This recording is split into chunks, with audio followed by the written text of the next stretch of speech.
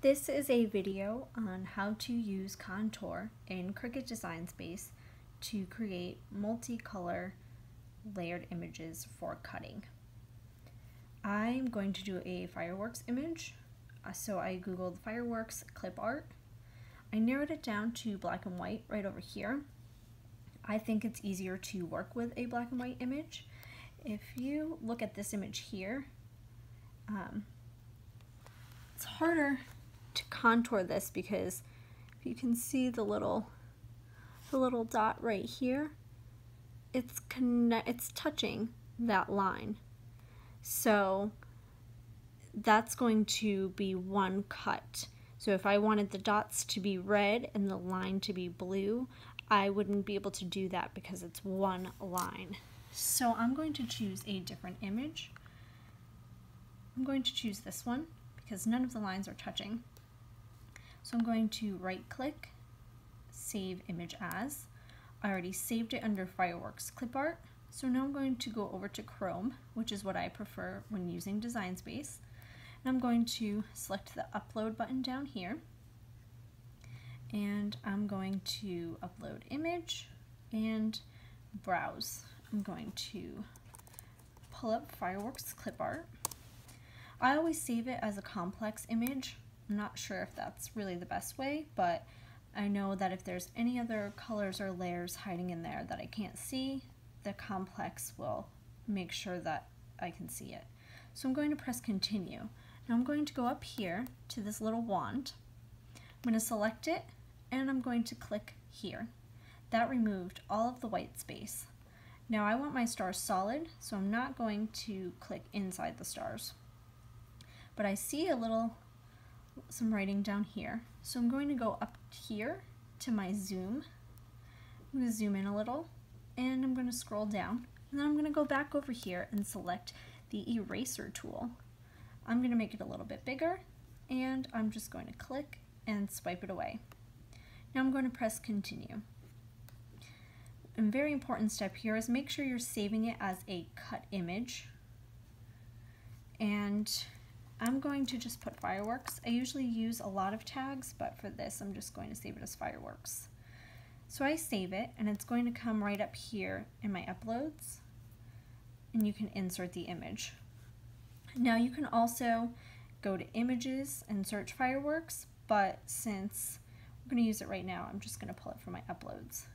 Now I'm going to make this red, blue, and silver. So I'm going to duplicate it twice. That way I have three layers, one for each color. I'm going to select my first one. I'm going to go down here to the right and I'm going to select contour. I'm going to get rid of all of the stars first. You can also select them over here, but sometimes depending on your image, it's hard to see them, so I like doing it right here. Then I'm going to get rid of these bigger lines because I'm going to make those blue in the next step. So make sure you get all of the right ones. See how they get a little darker when you select the right one. So then I'm going to go over to my layers panel over here and select the little color blob. I'm going to change it to red and then I'm going to hide it with the little eye. Close that. I'm going to pull my next layer over and I'm going to go back down here and click contour again. I'm going to get rid of the stars again and then I'm going to get rid of the thin red lines that we already turned red.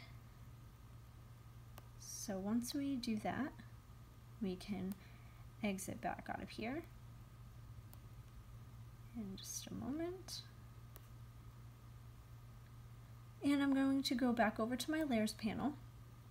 I'm going to change this to blue and I'm going to go back to the eye right there and hide it.